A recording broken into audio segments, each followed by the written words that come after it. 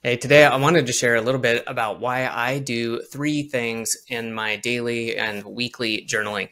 And it goes by the acronym of ADD. And this is something that can help you save an immense amount of time. Doesn't take long, and the results can just be fantastic, which I will share with you in the rest of the video. So let's get going.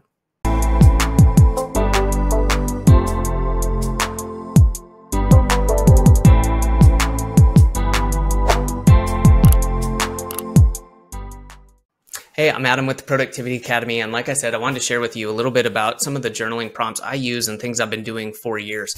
And uh, one of these is on my weekly review. It's kind of bounced around. Sometimes I did it um, on a daily review, but it settled into the weekly review and it goes by the acronym of ADD. Um, and this stands for Automate, Delegate, and Delete. And this is something where I just try to come up with anything um, that I can automate, delegate, or delete. And this can be, you know, if I've got a, uh, you know, a mind block, uh, I can't think of anything, anything goes. This is a brainstorming time. Um, and that's how I treat a lot of these questions. A lot of this is just trying to get it out of your head or put something down that maybe will turn into something down the road, or you have this list of ideas for the future.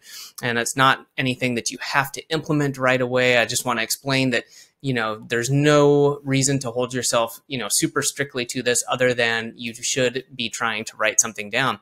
Uh, and the reason for this, the benefits on this are huge. So in 2018, I think it was a long time ago, um, I counted up uh, the times I started recording, hey, what are the things that I have automated?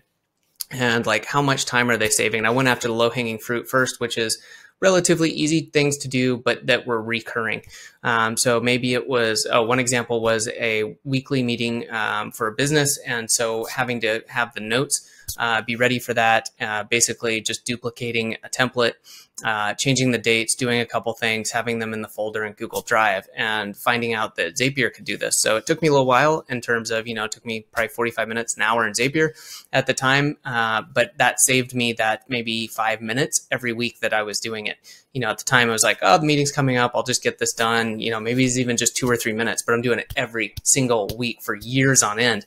Uh, so realized, wow, that's a pretty huge time savings. And then that was just one example of that. So over time, right, that's five minutes, but it's every week. And let's say that's like 50 uh, times a year, right? So five times 50, 250 minutes. What would that be on the fly here? That's over four hours um, of time savings. So that's just one example of um, what you can do with these and how you can end up saving an incredible amount of time and why over the course of a year, if you start doing these things, and you automate, you delegate or delete, right? Because some stuff maybe, oh, I don't even need to be doing this anymore. I could just totally get this off my plate, not even have someone else do it. Um, that can be really helpful one too to keep your systems clean, keep your processes clean, and keep the the cruft from building up over all over the place. So I think if you're not doing this, I would highly encourage you to do uh, as part of your weekly review, monthly review, whatever you do regularly, and just set a, you know, maybe it's a timer for five, ten minutes, and just say, hey, I'm just going to sit here and kind of write down the things that come to mind, um, and you know, anything goes. And then from that, maybe look and see, hey, is there something here that actually makes sense? How much time will it save me? Um, is it recurring? Can I, you know, focus on those first and kind of go from there. But uh, the payoff on these can be huge. Um, I think that adding this in again to your weekly, monthly, quarterly review can be a huge, huge win for you.